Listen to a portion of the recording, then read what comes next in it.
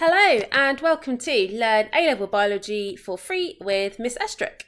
Today we're going to be going through microscopes and this is one of the topics that um, I frequently get requests in my tutoring to have help with going through the magnification calculation, the conversion of units and mainly the calibration of the eyepiece graticule. So we'll be covering all of that in today's session. So if you want, get some paper at the ready for some of the questions and make notes as we go. So this all falls under topic two within the methods of studying cells. And once we've gone through the cells, it's knowing how scientists discovered that these are the internal structures that cells have. And this has been worked out through um, using microscopes and cell fractionation and ultrafugation. Now this video we're just going to be focusing on the types of microscopes, magnification and calibration of the eyepiece graticule. Um, but for the link to the next video on cell fractionation and ultracentrifugation, that'll be at the end of this one. So you can just click the link to that one. So microscopes, this is something that you did cover at GCSE. And there are three key types of microscopes. You have the optical or light microscope and the electron microscopes. But there's two types of electron microscope. You have a transmission or a scanning electron microscope. Now the first bit of recap to have a go at is can you still remember from GCSE the definition of what magnification means and resolution or resolving power? So pause the video at this point to see can you come up with a definition for those two. Right, the definition for magnification is um, the magnification of the microscope is referring to how many times larger the image that you look at is compared to the actual size of the object. The resolution of a microscope is the minimum distance between two objects which they can still be viewed as separate. So by that we mean if you're looking at your sample through the eyepiece under the microscope, the minimum distance in which you can still see two different parts of the cell as being separate rather than then they have just blurred in to look like one single point. So the resolution or the resolving power in an optical microscope is determined by the wavelength of light and in an electron microscope, it's the same idea. It's the wavelength of the beam of electrons. So let's have a look at these microscopes in a bit more detail. At this point, I've just split it into the two types generically. So the optical microscope will be the type of microscope you're familiar with. This is what schools and colleges will have access to. And in this case, you have a beam of light being released by your lamp, or sometimes it's a mirror to reflect um, a plugged in lamp. And that light then gets shone up and is condensed. And that is what creates the image. Now you have a much lower resolution on light microscopes compared to electron microscopes because light has a longer wavelength and that is what determines the resolution of microscopes. It also has a lower magnification in comparison but you can get colour images, so what you're viewing, you will see those real colours, and you can use living samples. In contrast, the electron microscope, whether it's scanning or transmission, for both of these, this time the source is going to be emitting a beam of electrons, and those will be condensed using electromagnets, and that is what is going to create the image. Electrons have a much shorter wavelength, so you get a higher resolution or resolving power, higher magnification, um, but you can only get black and white images and the samples that you view have to be in a vacuum, so completely um, vacuum, no air, and for that reason you can't view living samples. So a bit more about the optical microscope. We've talked about the fact it has a lower resolution because of that longer wavelength. What that means in terms of its application is you can't see the inside of organelles in detail, and some of the small organelles you can't actually see at all. So I've got an example over here where we're looking at mitosis in um, root tips, and you can see that there is an outer layer, but you can't actually see the difference between the cell membrane and the cell wall. We know that this liquid in the middle must be the cytoplasm, and stained purple are the chromosomes, so we can see where the nucleus is. But that is the level of detail you can see with the magnification and resolving power of an optical microscope. The electron microscopes, so going back to what I was saying, the specimen has to be in a vacuum. And the reason for that is the electron beam that is released, those electrons would be absorbed by the air and never even reach the sample or the specimen to create the image. So for that reason, it has to be prepared as a vacuum. And that's why you can't view living samples and you only get black and white images. So a bit more detail, the transmission electron microscope.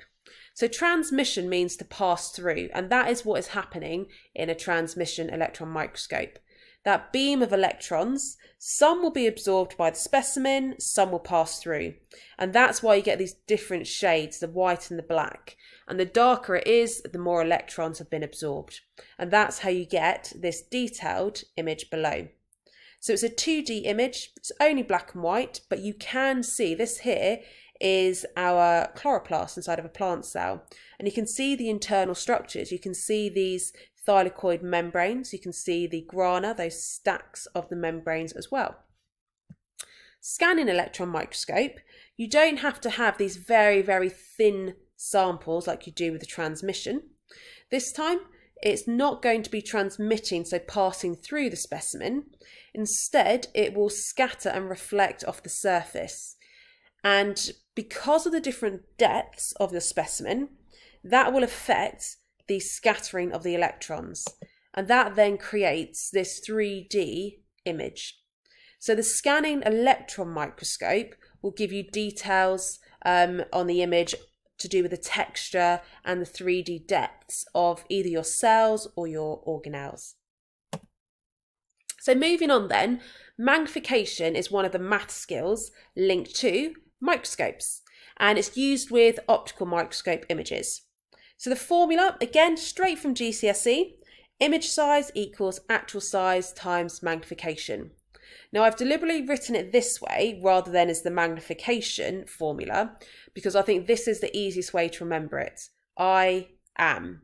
So I being image, A is the actual, M is the magnification. And then once you can remember I am, you can rearrange the formula to work out magnification or actual size. Now that is um, a skill from GCSE maths, but if you can't remember that, I'll link up the top here.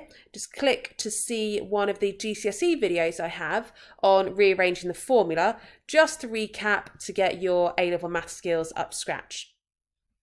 So the other thing that you'll need to be able to do is one of the math skills is converting units. And that's because your image size, so this is when you're going to be measuring your microscope image, which is also called a micrograph, um, you'll be using a millimeter ruler. So your image size will be recorded in millimeters. The actual size of cells and organelles is much smaller. It's going to be in micrometers. And in order to use this formula, you have to have both of those sizes in the same unit. So if you have recorded your image size in millimeter, then you'll need to convert it into micrometers so you have the same units. So to go from millimeters to micrometers, you multiply however many millimeters you have by a thousand. So if you measured two millimeters, that means you have 2000 micrometers. Or you could do the conversion the other way around. If your actual size is in micrometers, you can convert your image size into micrometers as well. And in which case, if you had 2000 micrometers, to convert that back into millimeters, that would be divided by 1000 and you have 2 millimeters. So just to go through a worked example, we've got here, it's a bit blurry, but I'll put in all the details. You could be asked to work out what is the magnification of this micrograph image. And they've given you a scale bar. Now, if you're shown a scale bar, what that means is the length of that bar is representing an actual size of 50 micrometers on this image. So our scale bar is the actual size, and that is 50 micrometers. What you then need to do to work out the magnification, we know to need to know the image size. And you don't need to measure any cells for this. You are measuring what is the image size of that scale bar. So you'd line up your ruler and measure how many millimeters long your scale bar is. And in this example, it's 20 millimeters when I measured it. So now we know we'd be doing our image size, which is 20 millimeters, divided by our actual size of the scale bar, which is 50 micrometers. But we need to get those into the same units. So I'm going to convert 20 millimeters into the micrometer units to match the scale bar. So I need to do 20 times 1,000. So that gives me 20,000. That is our image size divided by our actual size is 50. So our magnification of this image is 400 times magnification. So finally, the last skill is the use of an eyepiece graticule and how you calibrate it. So I'm just going to show this image here of the microscope first of all, just so you can see where the eyepiece graticule is located. So this eyepiece graticule is a glass disc which is within the eyepiece. And that glass disc has a scale scratched or etched onto it. And that is so you can line it up on top of whatever you're visualizing to see how many divisions on your eyepiece graticule does the nucleus cover, for example. And that can then be used to measure the size, the actual size of the objects that you're viewing under the microscope rather than using the formula that we saw on the previous slide. However, it's not quite as straightforward as that because as you're using your um, light microscope, you will be potentially moving between these different objective lenses and each lens is a different magnification. And what that means is the divisions on this eyepiece graticule scale will be worth different distances depending on how magnified the image is. And that's why we have to calibrate the eyepiece graticule each time we use it at a new magnification. So to calibrate it, you need to use a second scale, which is called a stage micrometer. And this is a glass slide. It looks quite like a um, glass microscope slide and it's called a stage micrometer because this is the scale that you'll place on the stage and it's measuring distances in micrometers. So the scale on it, now mine isn't quite to scale, but that scale that you have scratched onto this piece of glass is two millimeters long and each single division is worth 10 micrometers. Now I've only done every 10 divisions on this, that's all I could fit in on the diagram. So one division is worth 10 micrometers. So 10 of these divisions is um, 100 micrometers long. So if we go through step by step then how you would use the stage micrometer and the eyepiece graticule to calibrate the graticule.